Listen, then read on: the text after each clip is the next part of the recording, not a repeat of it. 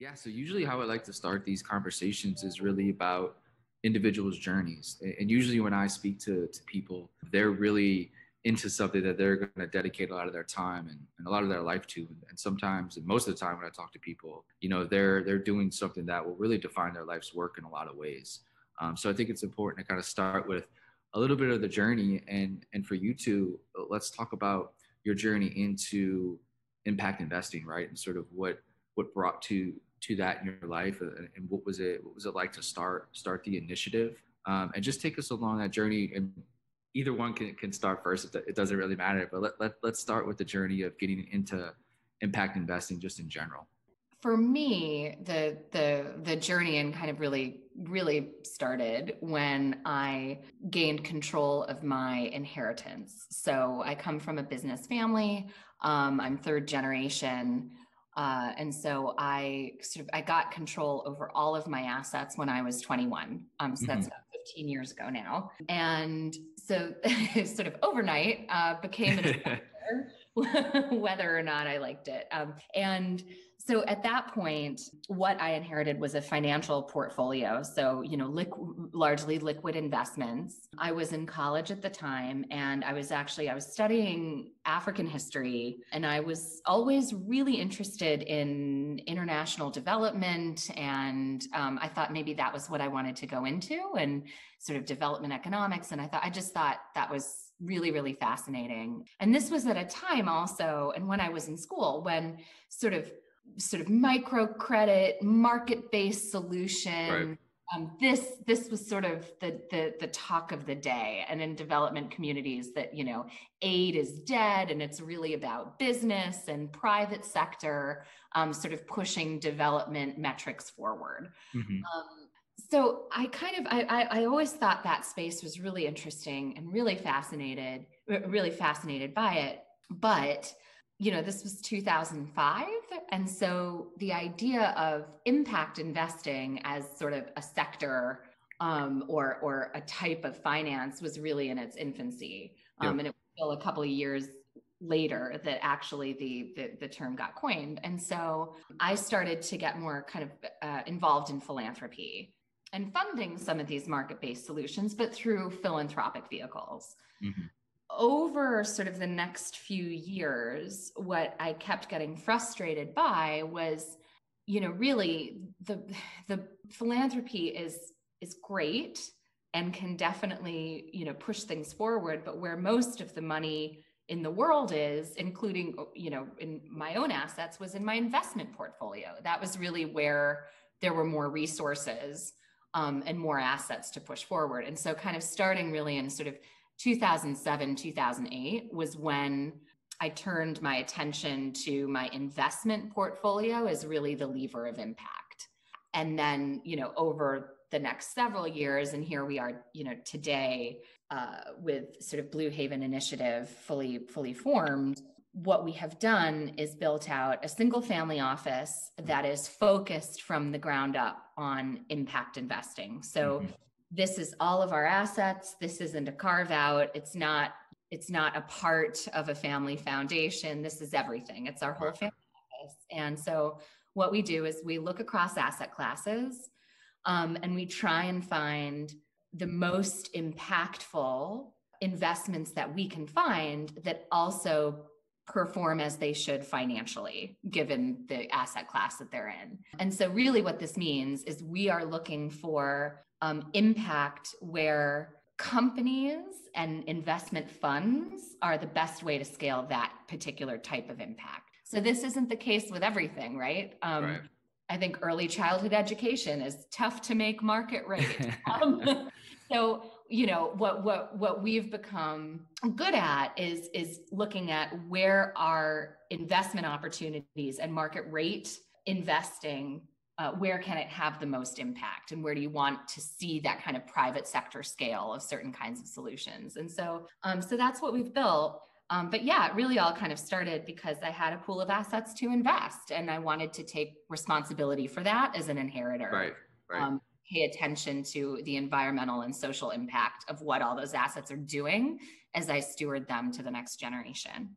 Um, i had the the luck of growing up in a house household where both my parents were involved in different ways in what we now call impact investing on the professional side of trying to place investments overseas for international institutions to fight poverty, as well as on the institutional policy side, where my my uh, mother was the first college president to divest her endowment from apartheid holdings in South Africa back wow. in the 1970s. And then she also ended up uh, running one of the largest foundations in the United States and led their uh, work on impact investing from the main part of the endowment, not part of the not the philanthropic portfolio as well. So I was brought up knowing that you can do well in business and serve a purpose. And uh, then I also inherited resources as well and uh, was uh, already involved in screening portfolios and in placing investments in, in uh, purpose built companies for impact investing purposes. And uh, before Liesel and I met. So it was actually impact investing was something we bonded over. right. yeah. Early on. Yeah. and, and the idea that somehow, you know, your right hand should know should know what the left hand is doing. That you, you know, if you're trying to make a make a difference in the world, you should be paying attention to how you're making and investing money and how you're growing businesses, and not just uh, how you're using your time or being philanthropic. So it's, it's a core a core passion, core passion of ours. And I think you know as as Liesel and I have looked back to some of our family business stories that we're most proud of involve entrepreneurs in our families or investors in our family who invested in businesses that somehow are solving a key social problem mm-hmm. and and those are the businesses they're most proud of so i think we were extra motivated by by that as well and thinking as we are stewarding resources for future generations we'd like to be able to be part of solutions not just uh, in addition to doing financially well actually being part of solving key problems. So this is also the first impact investing love story. I think we can say this is the first one ever right? Since we the coin was just the, the term was just coined i think right? When you guys were uh, we're, we're coming together. Um, um, so I, I, guess when we talk about you know blue haven in, in general and sort of the, the initiative when you wanted to start it was the idea already laid out sort of the mission and framework already laid out and you knew exactly what regions of the world you want to invest in what what were the certain sectors you wanted to invest in? Let's start something right? And then we'll we'll sort of figure out what it was. Or was there was there a real plan from the beginning and then day one you were sort of just hit the ground running what we did agree to and what has you know continued to be the guiding star in all of this was that we want to do this with 100% of our portfolio. So often what'll happen with a family office or a foundation or you know any type of kind of asset owner is they'll shave off something. So they'll they'll create an entity that you know they'll sort of take a portion of their assets and they'll put it in an LLC that does impact investing or they'll put it in a foundation that does this or they'll right, start a fund. Right. But it never bubbles up to actually the head head family office um, and so like you even take like you know bill gates there's gates foundation there's breakthrough energy ventures there's lots of different initiatives but nobody really knows if it actually bubbles up to the head family office. Um, and there's always a lot of it's very most of those sort of big family offices are incredibly opaque. Um, so they'll talk to you about like one part of their philanthropy or their investing but not everything. And one of the things that that we really wanted to do from day one is not do that, but actually like really, really holistically integrate this so that we don't have the ability to create silos because we're doing it from the head office to begin with. And so what that though really meant was we couldn't be too prescriptive because you know and also at that point the universe of impact investing fund managers with track record and things like that was was still more nascent. So what we really kind of said was listen we want to do this across asset classes. So first of all we want to do this with everything. Secondly we want to build a diversified portfolio. So you know like any prudent investor we can't be 100% in early stage vc we can't be 100% right, in right you know public equities we want to build a really rope you know a diversified portfolio that makes sense from a liquidity standpoint, from a risk standpoint, and from a diversification standpoint. So that was kind of the task. And so, really, in the beginning, it was about okay, let's just start kind of marching through the asset classes. So, we set our asset allocation, and then we said, all right, now how do we find best in class managers mm-hmm. that have an impact or sustainability theme that also meet the characteristics of the asset class and sub asset class that we're that we're filling. And so that takes us in a lot of kind of interesting directions. And so we do a lot of renewable energy project finance um, and infrastructure finance. There's things like timber funds. There's you know startups uh, or, or you know funds that are in the biotech space that are solving all kinds of uh, sort of healthcare issues there's we really span um, sectors and industries in order in sort of pursuit of that holistic goal. Um, and so we not only have the financial diversification we're looking for, but it's also impact diversification. Right. And so that's sort of how we've built out the portfolio. But then in 2014, we took a chunk of our private equity portfolio and built sort of an in house evergreen venture fund Mm. Um, and that one we were more strategic about. So that is focused on sort of fintech and logistics companies in sub Saharan Africa, sort of seed through Series D. And yeah, I can talk more about that one, but that that really we we we have a stronger thesis and you know is more research driven and and stuff like that. Yeah. So quick question before is it are there many family offices dedicated to specifically impact investing, right? Like you said, it might be a, a you know a part or a wing of a family office, but are you guys the biggest like family office dedicated to just impact investing? I don't either. It's hard to know. Yeah. Yeah. so I wouldn't want to claim that. Sure. Um, but there's starting to be more. I mean, there's even a network of family offices mm-hmm. that are focused on impact investing that we're involved with called the Impact. Um, yep but yeah, they're popping up. But family offices are, are quite quite secretive often. Yeah, and so yeah. It's it's tough to know. And, and I guess with the if we want to go, I'd like to dig in a little bit to, to the to the to the venture side of things, if you don't mind, because it, you know it's so weird. I, I've talked to just this past month. I've talked to about you know five or six people doing some really incredible things in Africa, and it's such a an, uh, an inspiring you know region and and very just optimistic. I think so many people talk about you know china and asia and, and uh, even you know brazil south america as, as sort of these up and coming sort of regions. Obviously china is, is no longer up and coming or there but africa is sort of this to me just this just giant just sleeping giant like waiting to really just burst at the seams with innovation and entrepreneurship um, just from those I talked to. Do you see the same thing? And, and is it was that the reason to, to focus on Africa with the with the venture side of things? Well, yeah. I mean, one of the from an investment perspective, what we got very excited about. I mean, and it was also kind of coming off of I had spent time there working at microfinance institutions and what kind of got me really excited so i was sort of around in in parts of east africa particularly when um, m-pesa and mobile money yeah. really took off yeah. and first yeah. place in the world where mobile money took off and it has an incredibly high penetration of mobile money and so what i get excited about is that you've got a sort of large young population you've got high penetration and increasingly high penetration of smartphones you have very high penetration of mobile money um, and pretty shockingly bad incumbent banking systems and financial services. So, to me, particularly from a fintech perspective, you've got ingredients there that I think are really, really interesting. The other thing is, is that is, is a, it is a,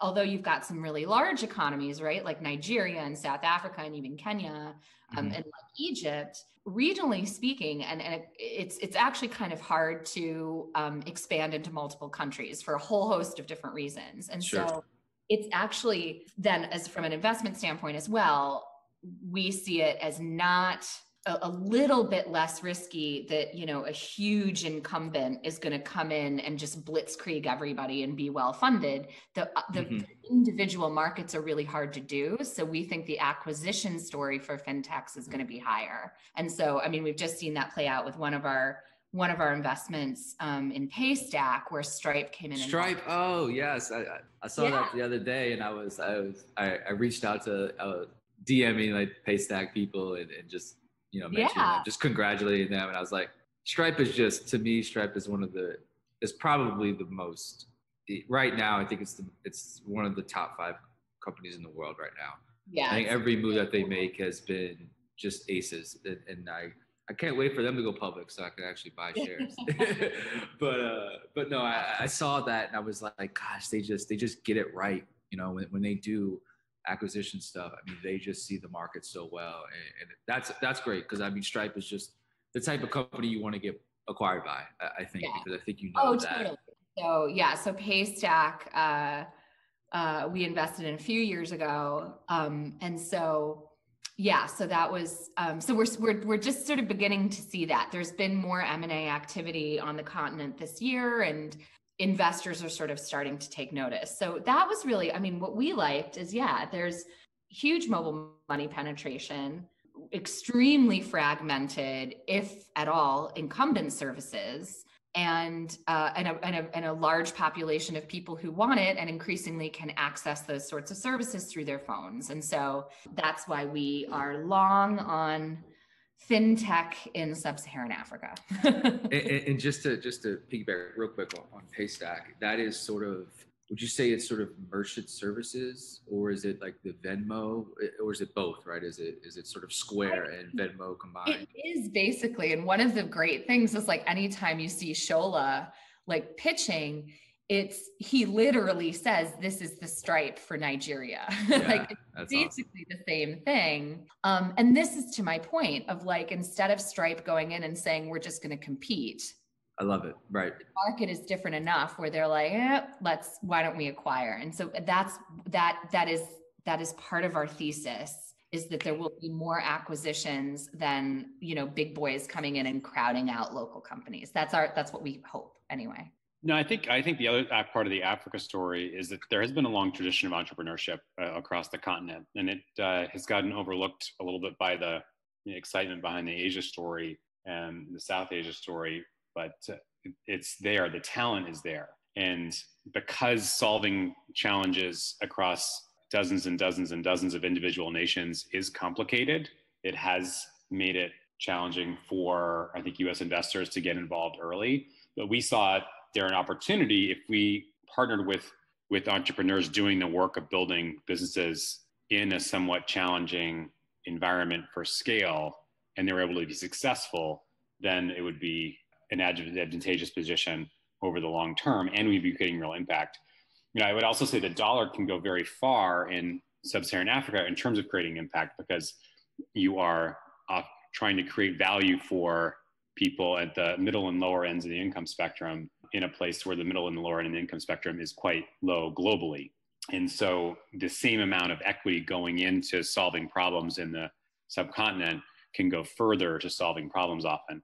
And so we saw that as another interesting reason for us to, to devote equity because we thought we could make a competitive return and have the dollars go further in terms of in terms of impact. You know, let's say a company like Paystack, which is solving uh, financial transaction issues for small businesses, is hugely beneficial. You know, the, the for those who, who aren't sort of familiar with it, the the situation in Nigeria and many countries across the continent is you have multiple different forms of payment being generated. It's very hard for like a, a PayPal to just come in mm-hmm. in the market given the complexities. So they so Paystack had to solve uh, multitudes of real problems on the ground with how businesses were processing payments and by willing it's really, to it's really hard to do that's, that's really, really hard. hard. to do yeah so by willing to being weighed into the complexity solving real problems really making a difference for the ability of small businesses to have a, uh, a more stable and stronger platform in which to grow you know it's exciting to be part of is there any other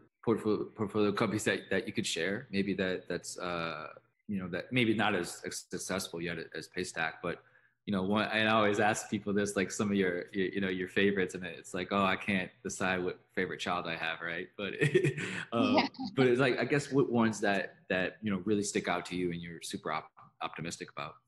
Oh, I mean, I think that that yeah, there's lots of them, and they're on their on um on our on our website. And I should also, you know, uh, shout out to our managing director of ventures, Lauren Cochran, who who runs that portfolio and is the one who gets all the credit. Um, right.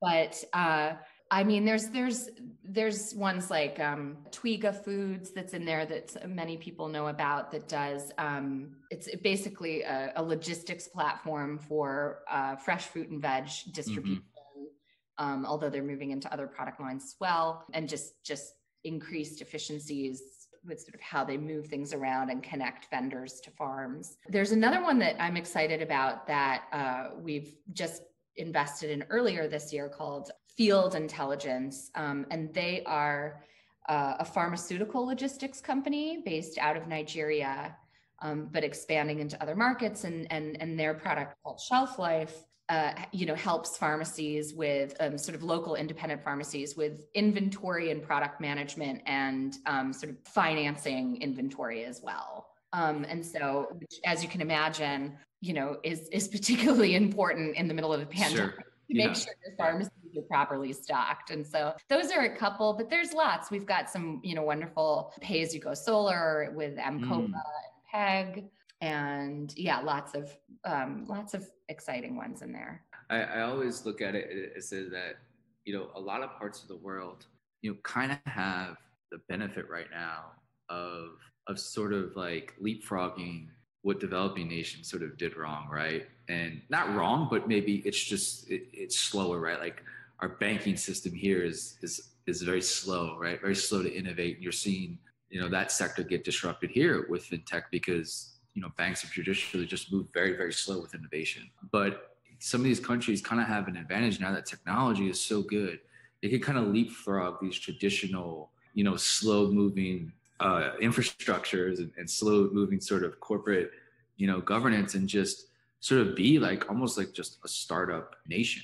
You know innovation can really you can go from you know having a mobile phone to bypassing physical bank locations because people, you know, so they don't have this this congestion um, and red tape, maybe so to speak, that developed uh, countries have a little bit when, when they're trying to innovate, right? There's so many different like laws. Sometimes you see with like Uber and Lyft kind of dealing with everything. It's just like, well, if there's no like cab union, you know, in some of these countries, well, we could just create an innovative way to get people around through scooters or cars or whatever without having to dealing with a lot of the red tape. I I would I'm cautious of that um, just because as long as, you know, the thing is like, yeah, as Uber and Lyft though aren't building the roads, right? Mm, and they're good call. paying good the taxes to build the roads. And so yeah. The, the thing is like, and then we're, we're working in climates that don't have, uh, many of them don't have roads yet. And so you're never going to, you can't leapfrog that. Um, sure, sure, so, sure. I think that that we've got we're still in an operating environment where good governance, good tax base, you know, we take for granted in this country. I think how much um, of that has already been totally subsidized by by the government and by yep. tax. Yep. And, that, and so I think we're always going to run up against a, a, a block to scale if we don't also invest in the public goods that enable that kind of innovation to really take off. But I, I mean, I do think though the innovation economy like is I think it's it's happening quicker we're seeing those sorts of things happen quicker and people learning faster and serial entrepreneurs showing up quicker like you know i do think that there's a degree of speediness but i think we can't forget in there's a lot of public goods infrastructure investing. Sure. Yeah. Has to also happen. Yep. That would be my, my only caution there. Well, I would just add in the, the mobile money story is a good example where many banks in Africa saw what happened with M-Pesa mm-hmm. Kenya. Right, right. Where the regulations uh, either made sticky or were not changed to make the adoption of mobile money much harder in a lot of other places and to make sure they have more control over that. So there there there have been times eh, not just the United States, but overseas, where they're sure. ensuring that not only have the public investment, but also the rules of the game um, ensure fair competition. I think it's always going to be an important battle. And I think as impact investors, part of the challenge for the next decade is to make sure, even as we continue to try to invest in more companies that have a, a positive purpose, we also are paying attention to are we are we weighing in to ensure market rules are fair and efficient and create competition? And are we weighing in to make sure the public investments there to ensure the economy is growing equitably? And if we're not doing those other two pieces, just making sure we're doing more with our own portfolio is a little like investing your head in the sand where you're you're not really paying attention to what's going around you and and uh, you're not creating an ecosystem that's going to thrive over the long term. So we, we talked a, a bunch about uh, a ton of different things. I'd like to I'd like to jump into to climate change a little bit and, and sort of what's happening in climate tech is is a bit inspiring and, and optimistic for sure. What do you see sort of in the in the climate sector as you know opportunities that are you know again I think a lot of this stuff is is really new right there's just these new sectors like popping up right like fintech in Africa you know 50 even 15 20 years ago was not even like a term right? Like it wasn't even a, a thing. It's so crazy how things move fast and kind of the same with climate tech. I mean 20 years ago you wouldn't even think that that would be even like an industry right? Let alone one that's profitable right? And, and can now change the entire landscape of energy around the world. So what does climate uh, change look like from you know investor point of view? Like what, what are you optimistic about uh, in that sector well, I think I think there's a couple of different approaches, and we we take some of these across our portfolio. Is there's the um, kind of the the the innovation stage, and and looking at you know new sort of new materials, and you know particularly kind of product efficiency. Uh, that are addressing various aspects that contribute to climate change. And those are what, what I do get excited about and particularly in the impact investing, investing space, is that oftentimes traditional venture capital has shied away from hard tech, clean tech, mm-hmm. because you know it's not based on yeah. and it's not based on um, on on SaaS, right? And so basically, with the exception of Nest, you know, there's there's there's not it's tough for traditional VC to yep. get into that space. But I think what people are starting to see now, when you can sort of combine a slightly longer time horizon with, yeah, yes, I mean, a bit more patience to really test out these science experiments, the, you know, it's a little more like biotech investing essentially, where the payoff could be enormous if you figure out um, something that has, you know, a, a 10x efficiency. And so I, I, get excited about that because usually VCs would really like, I mean, five years ago would sort of run screaming if you said anything. tech. So I think that attitude is really changing. And I think that's wonderful. And then you know, when we look to other parts of our portfolio as well, there's some fairly straightforward, not so risky things around just sort of financing solutions that we know work already and are fairly commoditized. So, you know, we know what it costs to run a solar farm, a utility scale solar farm. And so financing that and underwriting those deals is relatively straightforward. And there's lots of opportunity to do that. And so we like underwriting deals like that and you know there's all kinds of i mean interesting things around sort of conservation finance forestry funds you know lots of different things in other asset classes as well outside of the innovation space but more on the kind of deploying solutions we know work or mitigation i would just just add to that when we think about investing in climate we think about doing the investment work and we think about also the rule changes that we should be advocating for mm-hmm.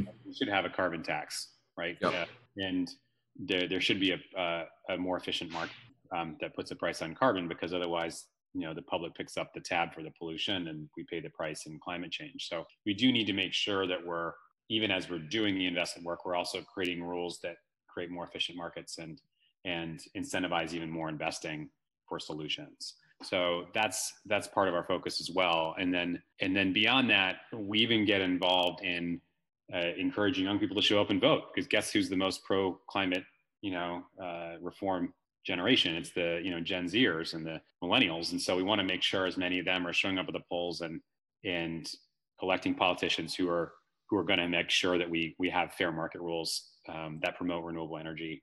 So that's a big part of our work as well. To uh, and it's it's not separate from our investment work in the sense that we right. it's important that we create healthy markets for the long term. It's not just about the investment opportunities today, but we want our kids to not only grow up in a healthy, safe world, but ones where they're uh, able to uh, also invest in positive solutions and be part of an economy that the rules where the rules reward uh, solutions-based investing. What would the carbon tax look like? Like, how would that that work? I mean, you would just you'd have to be able to track your your sort of emissions, and then it would just be your tax based on uh, your emissions, like you're taxed on your income something yeah, there like are a lot of proposals for it. I should say, just to take a further step back, there's a lot of work needed in research sure. yeah. yeah. infrastructure investment and creating better rules structures for building codes and all that's super important that are about the full transformation of our economy. Carbon tax is just one piece of it. Some of the more popular proposals include taking the uh, amount raised through the carbon tax and actually redistributing it so everybody gets a check every year. Mm-hmm. uh, mm-hmm. That's, that's in January for the amount that's going to be raised through the through the rest of the year, and that can help um, mitigate some of the effects on on folks who have would face more economic consequences from it, who are lower income mm-hmm. or derive more of their income from transportation industries. So that that's been a popular solution. There's also been solutions around that where the funds go to kind of a, a stakeholder controlled fund and get reinvested in things that grow the economy even faster, like affordable housing and other community based uh, businesses. So there's that approach as well. And I think it's, you know, we don't want to micromanage kind of which approach is best. We just want to mostly want to advocate for, you know, creating a more efficient market there. Deals or anything sort of comes across your, your desk, uh, so to speak. And what, what are you looking for? Do you first look at, you know, the company and, and then the idea, uh, of course, right? Um, but then, you know, how much stock goes into the founder and, sort of the team, right? Is, is there, is there deep sort of like discussions like this right with, with the with the the founding team? Or is it you know somebody that you trust might you know bring you something really interesting and you trust them so much that you know you'll fund you'll fund it based on you know that trust with them? Or or do with every deal like you you you know you really want to talk to to the founder and the founding team to to get their idea and vision so with the with our venture portfolio so our direct investments into right. early stage companies I mean, yes, there's often not a lot of information sure.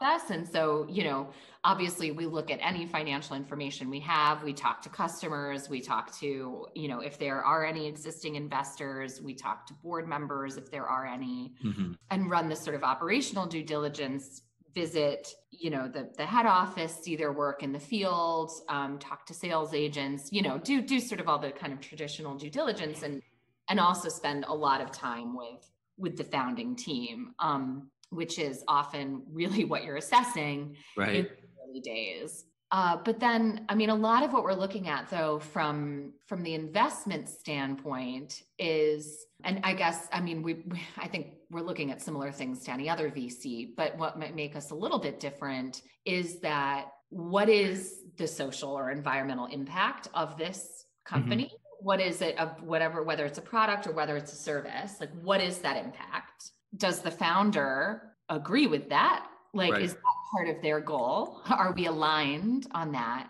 And also is that impact embedded in the business model? So basically what we are always looking for is companies or investment strategies where the more of whatever it is they sell the bigger the impact is. And so the the basically the financial metrics and the impact metrics are tied together and they grow together lockstep on the graphs. And so that's that's the holy grail of the sorts of businesses that we're looking at. And so the degree to which those two things are tied is very much a big part of our due diligence and trying to to have the foresight and of course, you know, I mean, you know, you've talked to and so many uh, like you, you know, you can't make up some of the pivots that, that right. have to go through. Like, of course, you don't have a crystal ball, but can we foresee big risks around decoupling the financial performance from the impact performance. And if so, that's not a great fit for us. And so that's that what I would say would be the extra lens that we use beyond what any traditional VC would say. I'll end on, on two more two more questions, and, and so the first would be, um, you know, looking at the United States and sort of issues that that we have, and I'm sure maybe you feel the same way, and entrepreneurship and, and specifically this transition to sort of impact entrepreneurship can solve not only a lot of the global problems, but but here in America, I think can solve a, lot of the, the problems as well. You know, so just concentrating on the, the U.S. for a second, what what are you what are you seeing from you know the founders in America and, the, the issues that we face? You know, how can impact investors and impact entrepreneurs like come together in the United States to solve, you know, some of our issues, whether it's, you know, food insecurity, whether it's poverty, whether it's affordable housing, whether it's climate, like, like we chatted about earlier, or, or access to education and the digital gap and the digital divide. You know, what, what are you seeing or what are you optimistic about from you know, United States point of view? I mean, I've, I've the sigh. I know, I know. Um, I mean, I have an answer that is is not. It's probably going to be very unpopular, but it's still. I'll I'll go for it anyway. I think some of it is is actually there's what what can they do, but also what sort of what what can they not do too? Like like sometimes it's not about you know setting up a new $10 billion climate fund just pay your workers a little bit more or pay your taxes or do you know like i think sometimes investing such a great point. Such know, a great point. There's been an oversight around investing in like sort of reinvesting in a country that is going to help you achieve more. It's like we've lost so so much faith in what we do together when we do good like when we do big things together. When we have you know really well funded r&d programs right we end up with the internet like we mm-hmm. we end up right. with and entrepreneurs can take the ball and absolutely run with it and so i think that having a little bit of faith in reinvesting in public goods, whether it's through taxes um, or whether it's through not lobbying against reinvest, you know, against regulation. I, I think you're losing the long-term play that will add value to your company. But of course, that's not necessarily how CEOs are incentivized is how your company will do in 50 years. It's certainly not. So right. I think I, I, I get it, like I see it, but I, I wish that I wish that there was a little bit more acknowledgement that when our country does better, we do better too. Mostly speaking, essentially, unless you're Amazon. I mean, the way I like to think about it is that you know impact investing can be great at improving technical solutions and service delivery solutions. It on its own is not always great at platform level or network wide solutions. So we should have rural broadband access across the country. And if yep. we did, there would be a lot more great businesses being developed across the country.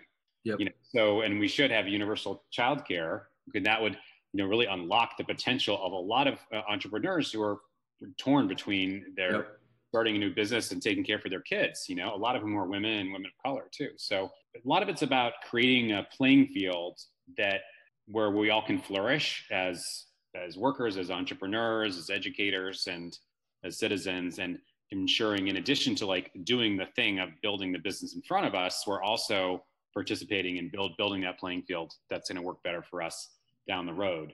And um, and you know the united states story has been at its best when it's invested in the potential of as many Americans as possible, as opposed to just a small number of Americans. We've had higher growth rates, we've had more equitable growth the more we've invested across the country.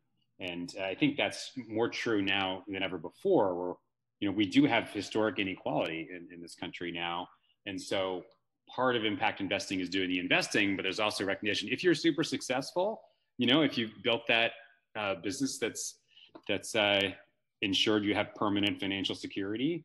You know, there's an aspect to one of the things you can also do is ensure you're paying it forward, not just through your philanthropy, but you know, taxation. Yep. Yep.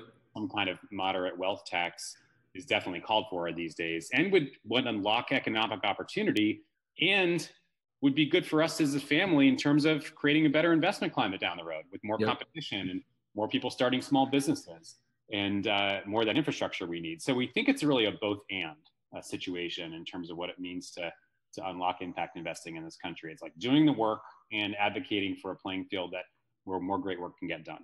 Yeah, I was.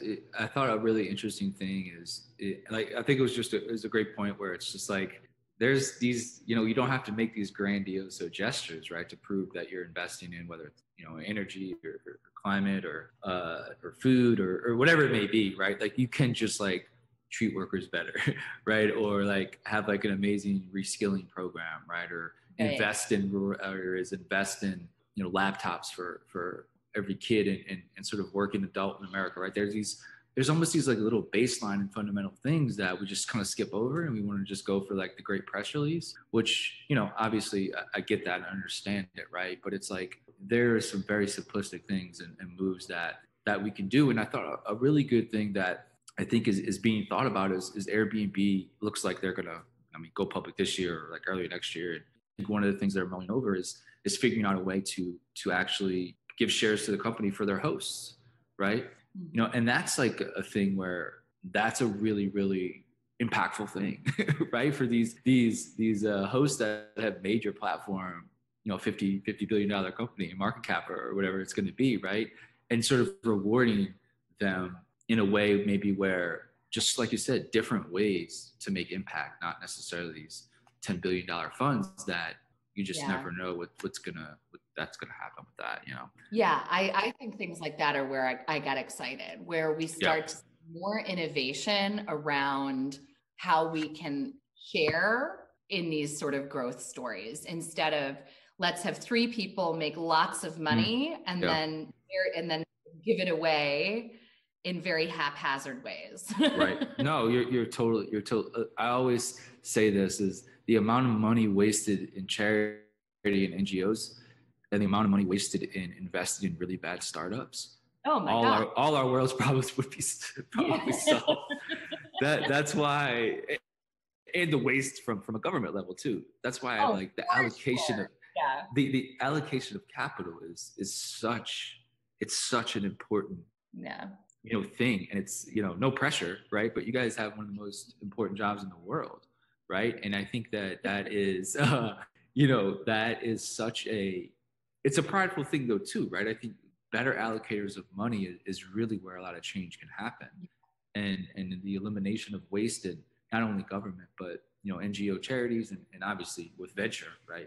The, the whiffs have been made there have been just staggering so i i digress a little on that so I'll, I'll end on, on, on the last question, and, and it's uh, hopefully a more positive one. Is let's look at you know the Blue Haven Initiative from a decade from now, right? And what are some of the the goals or successes that you would want to achieve, right? If you guys you know have a glass of wine wine or something over a conversation like what is what is the long term you know goals and successes for the initiative as a whole Oh, I mean, there's, you know, there's personal and, you know, and sort of community and societal different kinds of goals. Um, but I mean, I'll just, I guess I'll, I'll just start with a very, very personal one, which is I hope that my kids are proud of the investments we've made.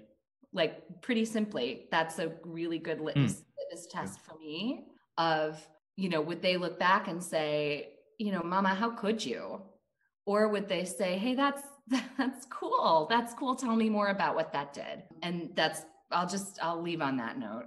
I would just complement that by saying I think it's all about the learning and seeing how much we can learn the next 10 years and uh, how much of that at the end of the day we feel is also worth passing on to our kids. And if you don't feel it's worth passing on to your kids, maybe we haven't learned enough. So I think there's an aspect of not just stewarding financial resources, but uh, building up learnings that can drive a family to try to be as helpful as possible. Amazing.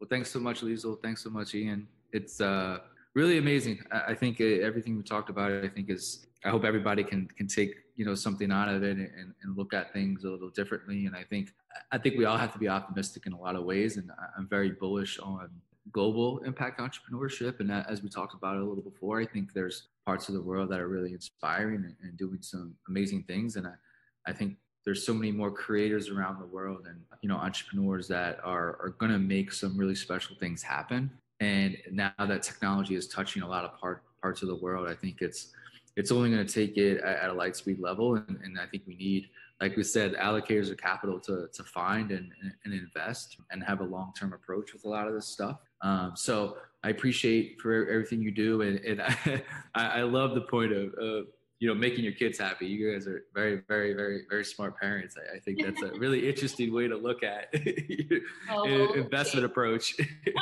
maybe too high bar kids